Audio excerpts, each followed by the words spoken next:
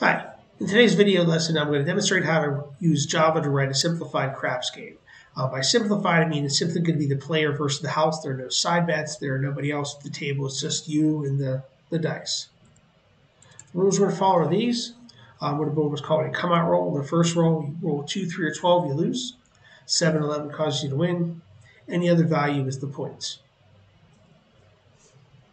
Uh, once you get the points, you then do subsequent rolls where you keep trying to get the points. Every time you roll after this, you're trying to roll with the point that you established in the come out roll. Um, if you roll a seven, you lose. Anything else ignored, you just keep looping around. So I'm going to start promoting this come out roll, and we're then going to um, mess with the subsequent rolls. I already have some stuff set up here. I have the bank, which is the money money you start with. You're going to bet 10 bucks every time you play. Points where I try to establish I'm using java.util.Random here as my random because I like the way it looks. And I got my total above. First row is a function that's called here. It's going to establish my point if I get one. So essentially I'm going to set up here what's going to happen. Create a couple variables.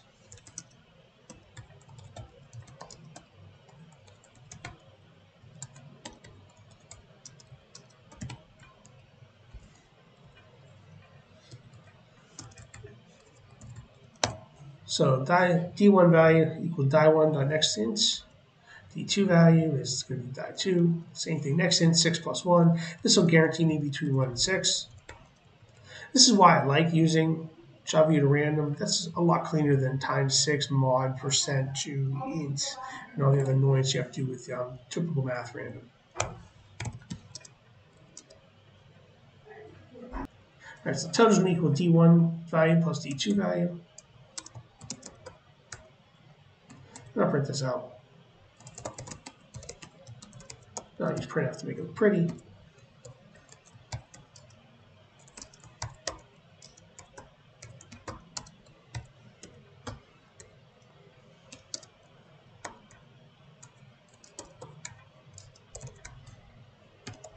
Do a quick run, see that this works. Four and four is eight. 1 and 3 is 4. 1 and 5 is 5, or 1 and 4 is 5. We should be good. Okay, so now I'm going to loop this. And I'm essentially going to loop it as long as point is not 0. So I'm going to do a do while loop, because I want this to run at least one time. The way I've coded this, I could have done this with a while loop.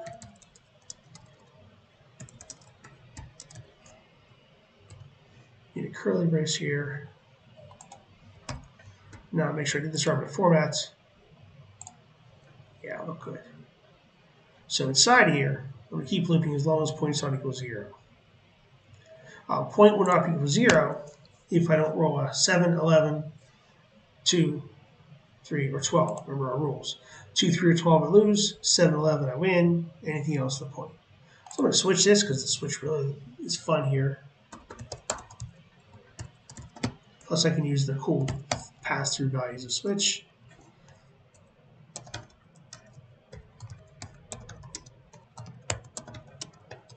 So I'm doing here is case 2, 3, 12.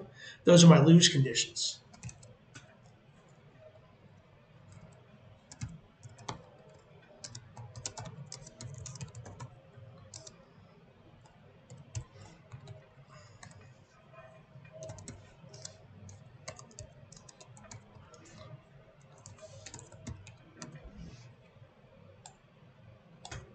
Now, normally you have a break after cases. This is a slick way to use switches. Um, I know that 2, 3, and 12 are the exact same lines of code, so I simply case at 2, 3, 12. And if any of these numbers roll, this line of code executes. Similarly, for 7,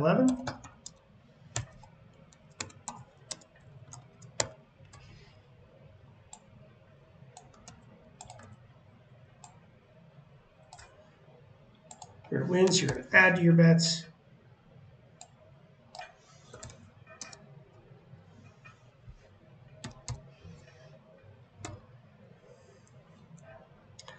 Any other roll I make will be my point.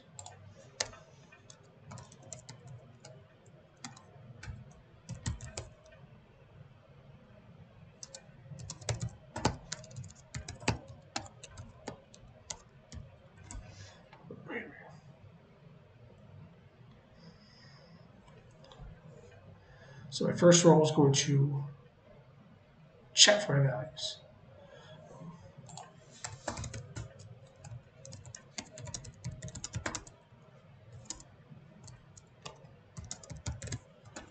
Pronounce. See if this works. Hmm. Okay. So I've got a glitch.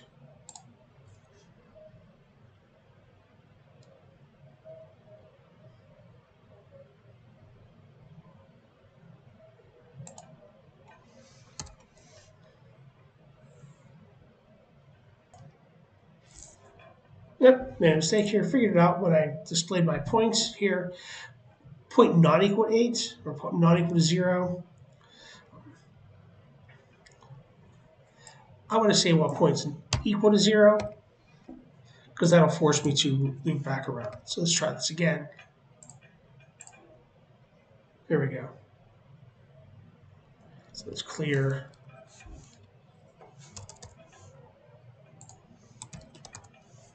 Run it again. Yeah, 5 and 5 equals 10. All right, so let's cheat a little bit. Let's see what happens when I get a 7. Always check these ranges. Win, win, win, win, win, win. Okay, that's what I expected. Uh, 2, I should lose, lose, lose, lose, lose. Yep, all right, so logic seems to be holding.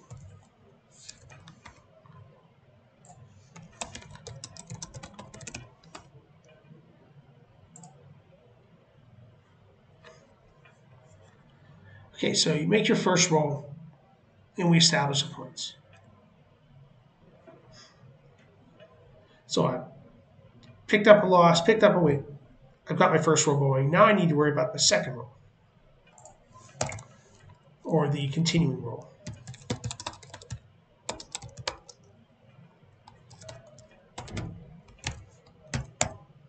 All right, the games are going to continue on and do the rolling.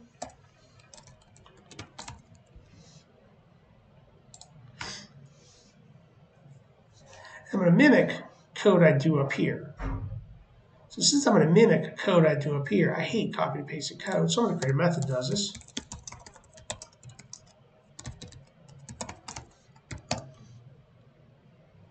It's essentially going to take these lines of code, put them here,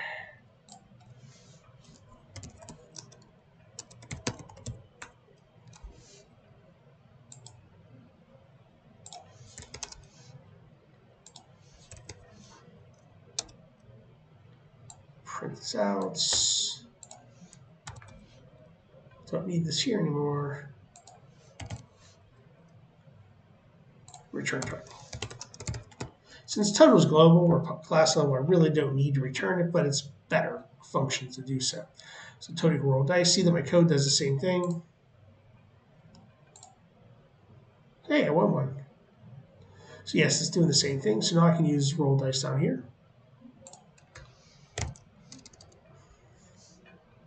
and the game is going to keep looping while I'm not equal to my point. So I'm similar to loop.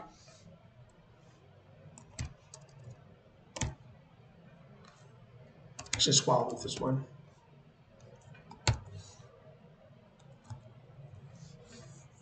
Yeah, that's still going to loop.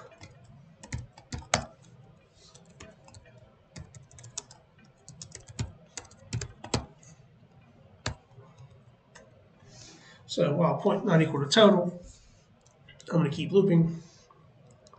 Inside here, I have to roll the dice. And again, according to our logic, if I roll a 7, I lose. If I roll a point, I win. Anything else is ignored. So let's switch that. We could actually if it as well. Actually, ifing is easier here because it's the only thing I care about.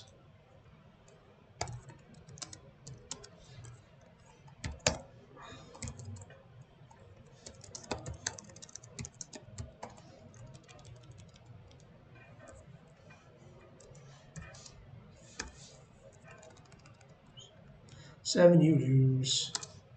Unhappy face.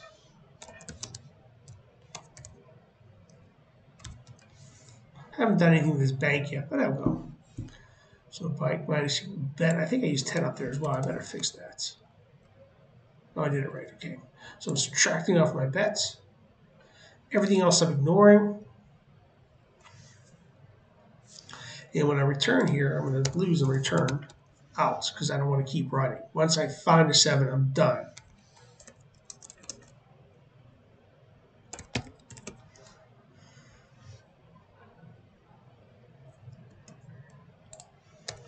Might want an else here just to display, hey, you're doing good.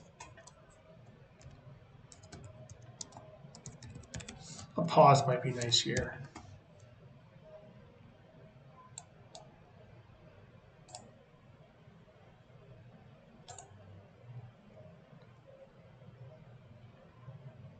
So the point 10, the point is 10. 6 3 equals 9. Keep rolling. 3 and 6 equals 9. Keep rolling. I got three nines in a row. That's impressive. 4 and 3 is 8. 2 and 5, 7. You lose. Right again. Looks like I won this time. So my else is incorrect. So I need an else if.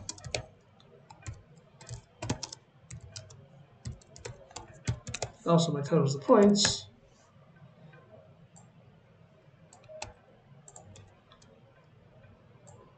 add the bets.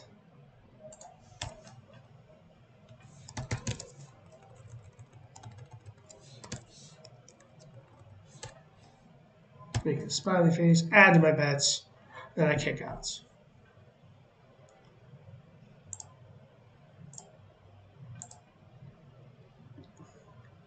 Excellent. So I win. All right, so I have now the First roll done and the gameplay. I determine whether or not I win or lose using simple if statements and a while loop. Again, a pause might be nice here.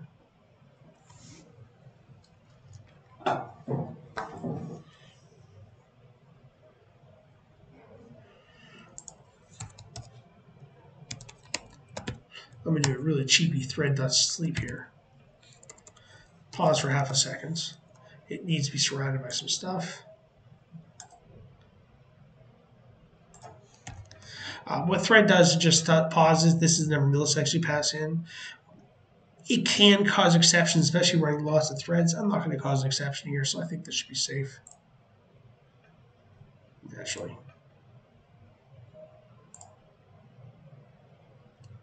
See the pause there.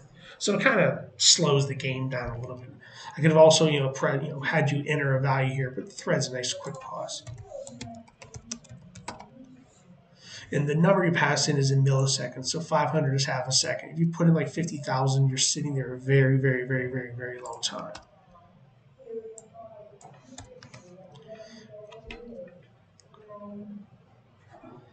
Okay, so now I need to worry about the bank, right?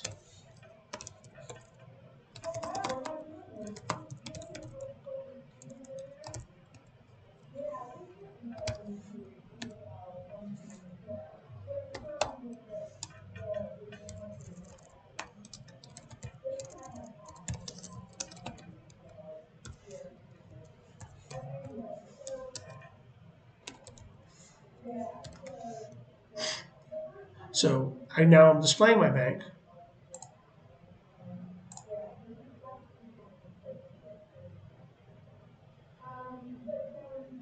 So did not knock off my bank, it seems.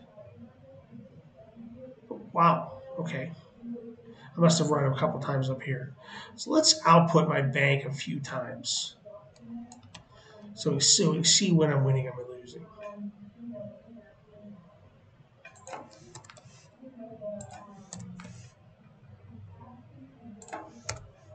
I guess I should put that after I subtract.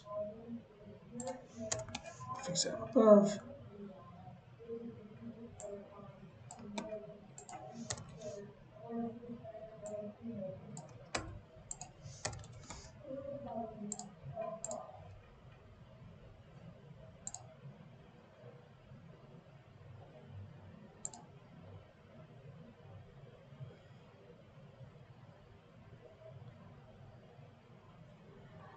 So it's interesting. Why am I gaining money?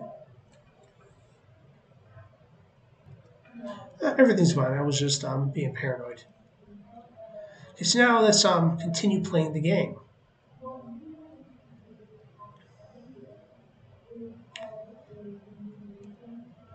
going to comment on some of these other bank lines.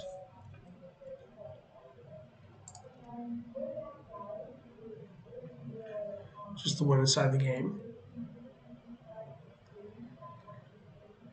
And now I want to worry about if I want to continue playing. So this will run one time. I now want to continue playing this, so I'm going to set this around to do all. Basically building a menu here.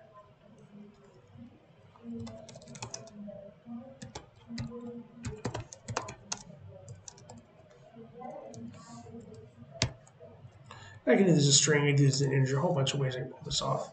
I need a scanner line.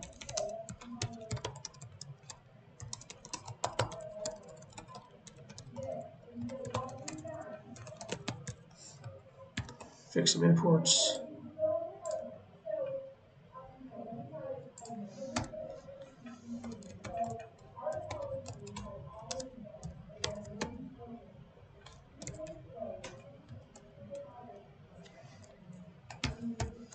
I could then use more case instead of lower here.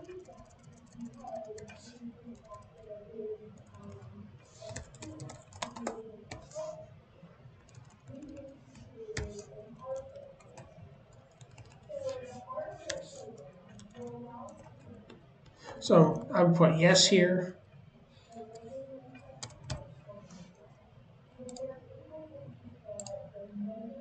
Keep playing yes got my keyboard going on here. Uh, at this point, the game's going to run forever and ever and ever and ever and ever and ever and ever and ever again. So I'm going to ask them for helping me.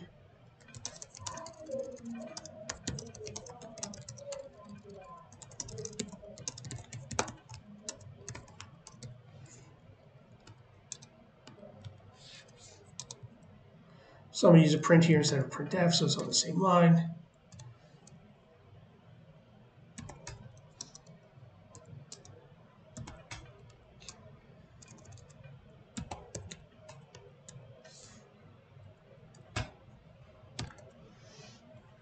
And unless we have some string input annoyances, this should allow us to keep running and running and running. Now, I'll close my keyboard out here so it stops yelling at me. And let's see if this works.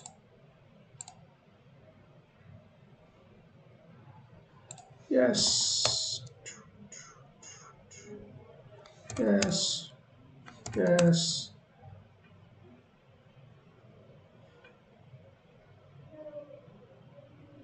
Oh, I gained money back, yes.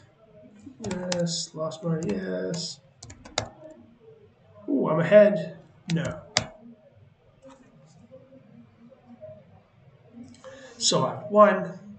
I'm now going to display outs. A little thank you here.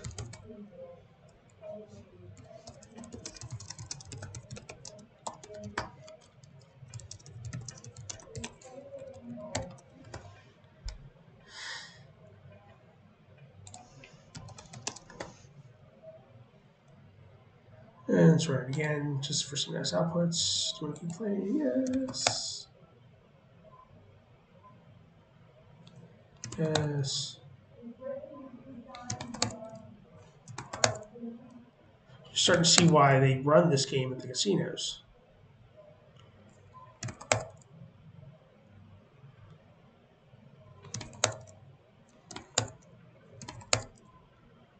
I'm down to 50 bucks. I better go home before wife beats me up. All right, so we put together a relatively simple game using if statements, switches, and loops. You, you saw how to use the pass-through variant of switches. You saw how to use another random.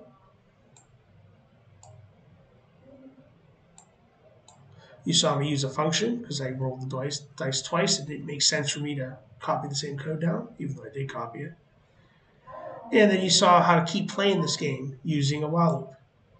I chose a while loop here because this is how I like to code. I like the test befores, so I will set up that test to guarantee it runs the first time. All right, thanks. Thanks for watching. Um, good luck. Have a good day.